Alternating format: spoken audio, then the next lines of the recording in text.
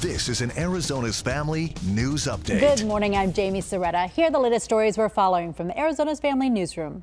The US 60 is back open after it was shut down for hours outside of Morristown due to a deadly wrong way crash. DPS tells us five people were killed in that crash around 10 last night, but westbound lanes of the 60 were closed until earlier this morning. DPS tells us two cars were involved in the crash, but so far the victims have not been identified.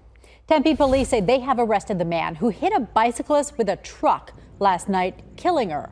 Officers tell us Raul Meza Portillo was turning from Mill Avenue onto Baseline Road when he hit the 41 year old woman, dragging her several hundred feet. We are told the woman was in a crosswalk, and officers say Portillo was aware. He was aware of the crash, but admitted to drinking alcohol beforehand. He is now facing second degree murder and hit and run charges.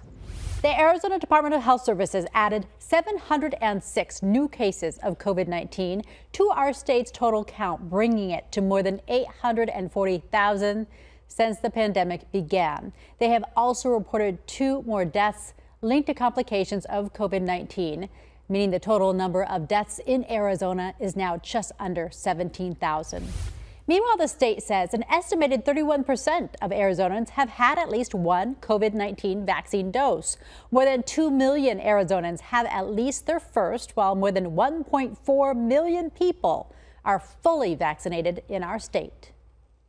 Meteorologist Kim Quintero here. Sunny skies today, unseasonably hot. The forecast high 97 degrees. That would tie the record set for the state. Tonight we dip to a low of 67 degrees. For Sunday, sunshine returns with a high of 99. That would set a new record. Record territory through Monday with highs in the upper 90s. Then a trough is going to bring in some cooler air. That'll help drop our temperatures to the low 90s Tuesday through Friday, but we're still 10 degrees above normal. Lows will drop to the 60s each morning and we'll have breezy winds each afternoon. For updates on more stories we are following, you can download our AZ Family News app and subscribe to our YouTube and Roku channels. I'm Jamie Soretta. Have a great day.